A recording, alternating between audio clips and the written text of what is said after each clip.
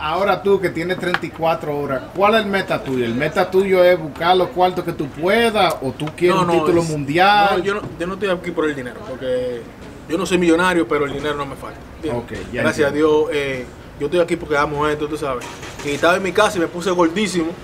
Y Estamos Chica- igual, estamos Chicago- igual. Sí, estaba gordísimo en Chicago y dije, yo, no, yo tengo que comenzar a entrenar otra vez, porque comencé a entrenar y veía que yo lo agarraba los carajitos y le daba su golpe. Digo, no, pues yo me quedo todavía muchísimo y comencé a bajar de peso. Y dije, por dónde salga. Voy a comenzar a entrenar y si ya tengo tres peleas ya en línea, tú sabes.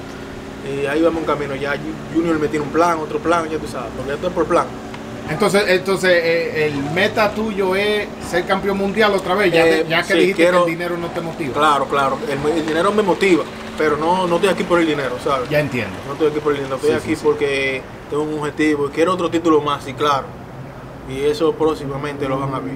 Porque yo en este peso que estoy, tienen que hablar conmigo. Aquí yo no estoy bajando de peso mucho, estoy fuerte, ya vi en mi última pelea, ¿entiendes? Sí, sí, y sí. eso es algo que. Por eso, Watson me dijo a mí, el de, el de Showtime, me dijo: en este peso tú estás súper explosivo, súper fuerte, te voy a dar la oportunidad.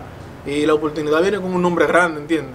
Lo que pasa es que ellos me están preparando para ese nombre grande, ¿entiendes? Ok, entonces eso ya y se ha ya con, hablado. con ese nombre yo he trabajado ya. Con el nombre ese yo he trabajado, ¿entiendes? Yo, yo, yo tengo es, más o menos. es un animal, todo el mundo lo conoce, es un animal y yo sé que se va a dar la pelea. Oh. Yo lo que estoy, pie- estoy esperando mi momento y cuando llegue el momento todo el mundo va a ver la diferencia. Cuando tú peleas con un tipo que sabe pelear, no tiene miedo, ¿entiendes?